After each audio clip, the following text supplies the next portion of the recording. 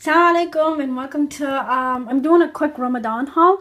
I'm just gonna show you the different hijabs that I got for this Ramadan. I got this purple one, this nice tan one. I got another purple because you know you can always you can never go wrong with getting two purple. I don't know why I got this color, but this is kind of nice.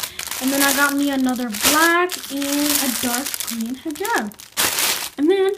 I got myself some shoes. I got myself a Converse because, you know, sometimes it's really nice to wear this with your dresses.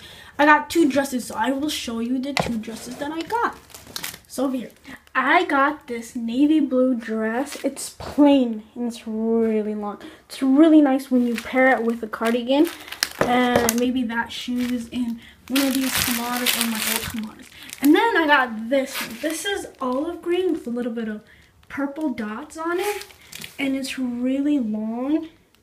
And this might be my Eid clothes, I don't know. And then it has this little string on top of it where you can just pull it and it will fit perfectly. And last but not least, I got a trench coat. This is the trench coat that I got.